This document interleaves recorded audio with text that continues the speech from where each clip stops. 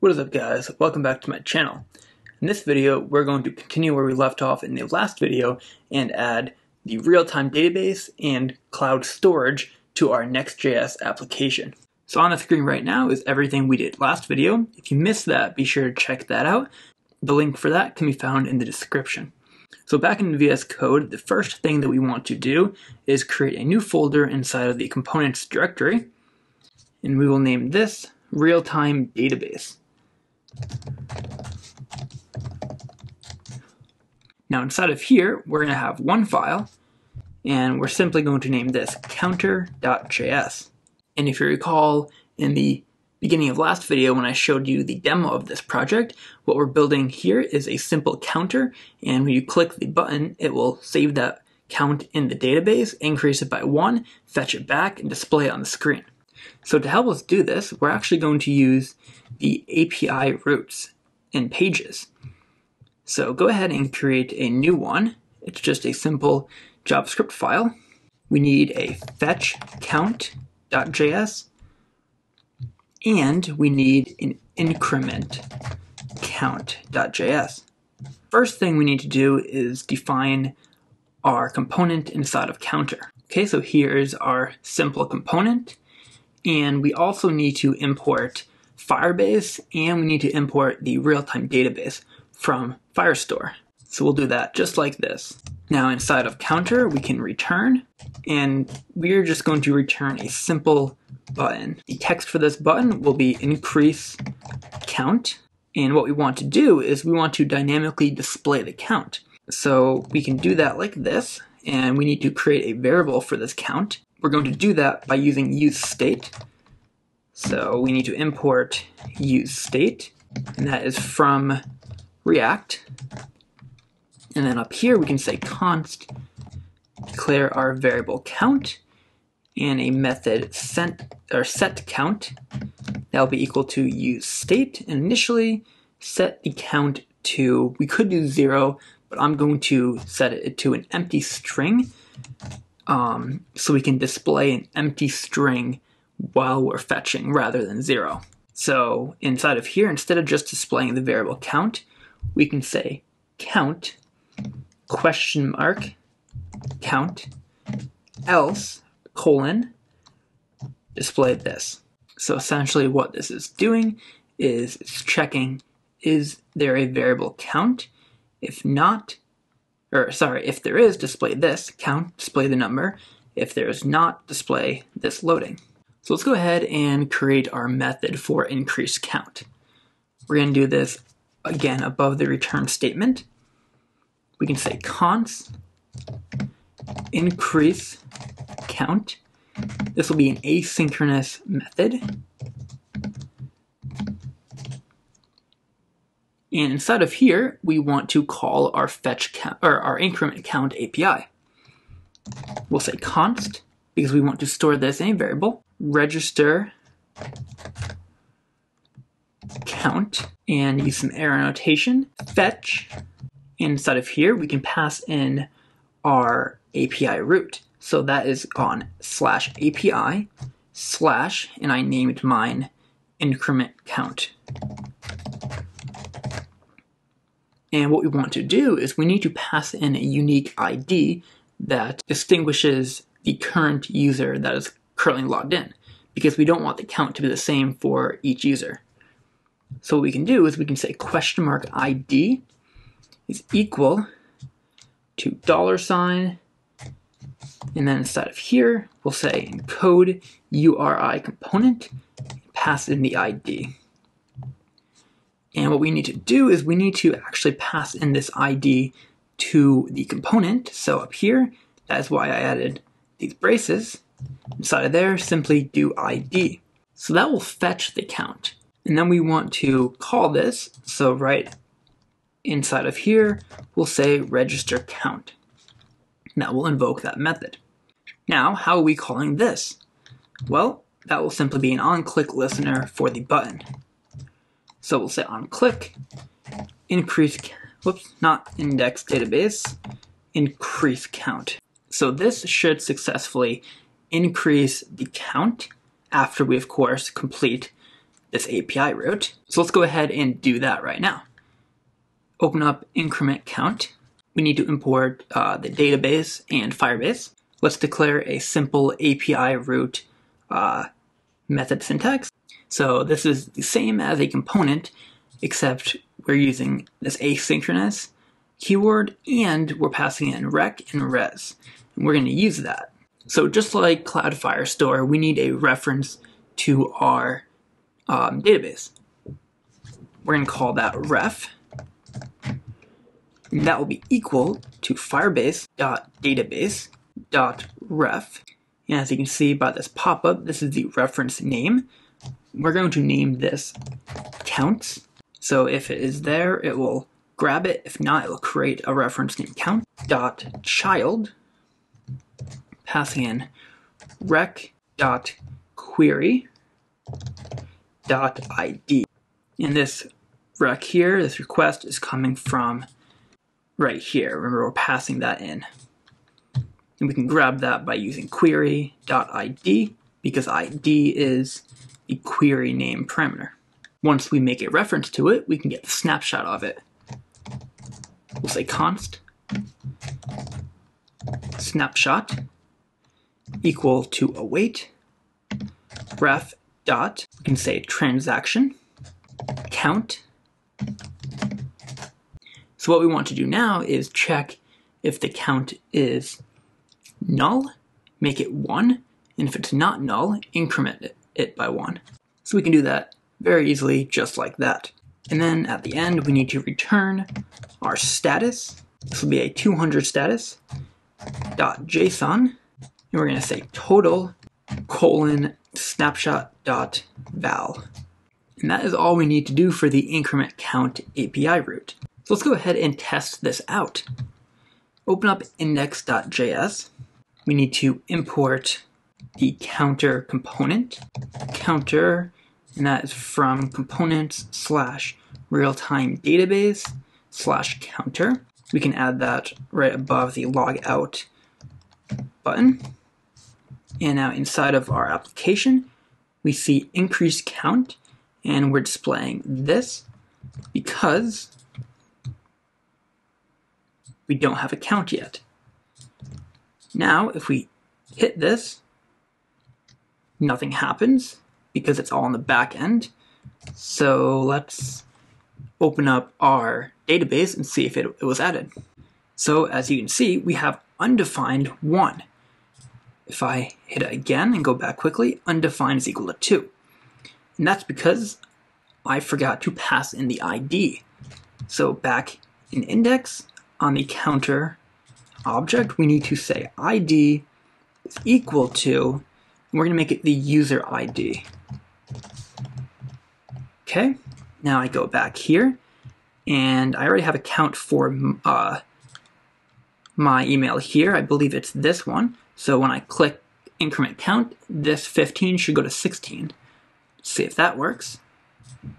Okay, there we go. See, it increases to 16. So that is working well. Now we need to fetch that count back. So instead of creating a method for this, we're going to wrap this inside of a use effect because we want this to uh, get invoked every time we increment the count. So let's import use effect from React. We'll call it right here. And then inside of here, we're going to say const on count increase. You can grab the count. We want to set the count. Remember that's this here. We're going to set it as count.value. And at the end of this use effect, before I forget, we'll need to say comma and then pass in the ID like that. Okay, back inside of here, the next thing we're going to do is declare a method fetch data. Make sure to spell that right. This will be asynchronous. Inside of here, we're going to say firebase dot database dot ref counts dot child id dot off value on count increase. Okay, and then we want to call that, and then we're going to return the same, we're going to return this line here, and this should be on, not off. There we go. So firebase.database.ref counts.child ID on value on count increase, and then return the same line except off. And if I hover over this, you can read what this does. So if I come here, you can see I didn't do anything. The count is now displayed. If I hit it, it increases to 17 and is increasing in the database as well. So just to recap what that's doing, you click the button, calls increase count, which fetches this API route, passing in the ID. It increments the count. On that increment, use effect is fired, and we are fetching the data, returning it here. And then it is dynamically displaying that value to the user. So that is how to interact with the real-time database. Lastly, we're going to look at storage. So storage is this tab right here, and it basically just allows us to upload images, videos, any of that sort of stuff.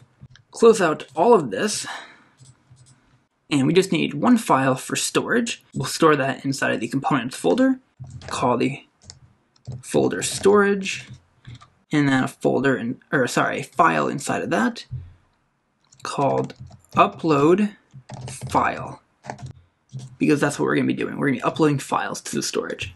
So like we've been doing, the first thing we're going to do is import our Firebase and our Firebase slash storage. We'll create our component and we will export it. Now what we're going to return is some empty HTML to wrap everything together. And then first thing we want is a progress indicator. We can use the progress tag for that. We'll set the value to a dynamic value. For that, we can import use state. And I'm also going to throw in use ref because we're going to need that very shortly and then use use state to declare our value in our set value. And initially we will make that zero. And then this also takes a max property. And we'll set the max to 100. And then we also need an input tag. And here's where we will actually be inputting our file. So we'll click it, our it will prompt us to drag in a file, we'll drag it in, and it will upload it. So the type will be file.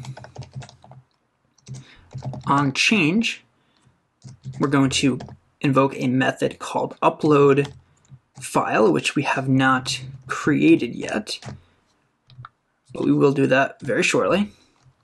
And then we'll set the ref equal to input el, so input element. So what we can do is the file we uploaded will be accessible on this object. And that's all we need to return. Now let's get into the logic of it. Let's create our function, upload file. And this will be pretty straightforward compared to the other things we've been doing, like real-time database. First off, we will get the file, input L dot, that will be equal to the input element dot current dot files zero. And the reason I know this is because I uploaded a file and I logged out this value to the console. And when I did that, I saw that we have this current property, and then it is, a, it is simply a list of files. So if we grab the first one, we'll get the file we just uploaded. Now we need a reference to our storage ref in, uh, in Firebase. We'll say var storage ref is equal to firebase dot storage dot ref. We're going to store all the uploads in a folder called user uploads slash, and then we're going to add the file dot name. So again, this name is coming off this current file here. And right here, All this will do is create a folder, like you can see here, called user uploads. And because I added a slash at the end, it will make a subdirectory. So we can go into it and see everything we've uploaded. So this was getting the file. This was creating a storage ref. Now we need to actually upload the file. We'll say var task is equal to storage ref dot into upload files. We're just going to use the put method, passing in our file. So that right there will upload the file. But we want to go one step further and display the progress to the user. That was why we added this HTML progress tag. So we can say task dot on change. So to do that, we can use the promise returned from the task. So we'll say task dot on state change is the event listener that we want. And we're going to do a couple of things. We're going to say function progress snapshot, and this will return the progress of the upload to us. And what we want to do with that is we want to set the value. So we'll say set value, and then what we need to do is use the snapshot dot, and then we get bytes transferred, and we get total bytes. So to get the percent done we are, we simply do the total bytes transferred divided by the total bytes, and all of that times 100. And then we need to create a function for an error and log that out if we have one, and a function for complete. So here we go. Just a simple error function catching any errors and alerting the user, and a simple complete function, again, just alerting the user that finished uploading. So now the last step is to go back into index, import this, and we'll throw that right below the counter. Now if we go back to our application, okay, we're getting error, input L is not defined. Let's see where we are going wrong here. Uh, right, we didn't define that because we can't grab it like this. What we need to do is we need to say const input L and set that to use ref. And initially that's going to be null and that should be good. Okay, we come back here, we see the progress, and a choose file. So if we hit choose file, we get a pop-up. All right, so I'm just gonna try to upload this image of the Flutter logo. We'll hit open, and upload it uploaded successfully. So we didn't see anything happen here, and that's because it uploads too fast, um, but we do see it's complete. So let's go ahead and open up our storage, refresh, and we should see that upload. Here we go, flutter.png. There it is. Let me just go ahead and upload a video so you can actually see the progress indicator working. Okay, here the screen record. Let's try this. And you can see this is taking a lot longer, but we can see it loading. Alright guys, so that is the end of this video. I hope you were able to successfully connect your Next.js application to the real-time database and cloud storage. Just a reminder, all this code is on my GitHub, so if you ran into any trouble or want to copy and paste, you can go to my GitHub and grab the code. Anyways, thanks for watching. Be sure to subscribe if you like this video. Stay tuned for more tutorial videos like this.